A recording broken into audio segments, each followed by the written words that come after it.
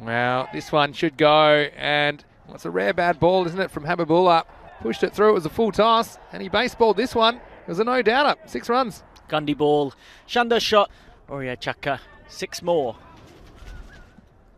Well, this time he goes straight. Now, this is a better shot.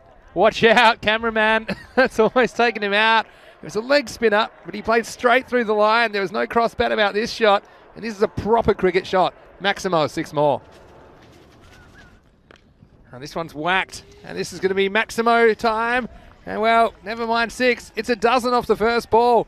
Well, you might have heard me saying, oh no, when it was mentioned how much they've messed up their bowler allocations. It's going to really cost them Vienna Danube. You'd be wondering what happened. More runs here, and probably going to be four more. Uh, well, this over. Imran Asif, he's another one that's dangerous at the end of the innings. And he gets another boundary away. Again, two leg side. Oh, he's knocked him over. And the perfect response from Imran Asif. Uh, well, backing weight. Works every time but once. They needed something to happen. Imran Asif comes up with the big wicket. He knocks him over now. Well, Salzburg looks like they might have it in the bag now. Don't call it too quickly. Well, it was expensive in his first over today. In the seventh, he conceded 19, but he's been right on the money here in the last for Salzburg. This one should be out. Bilal, he holds on to the catch.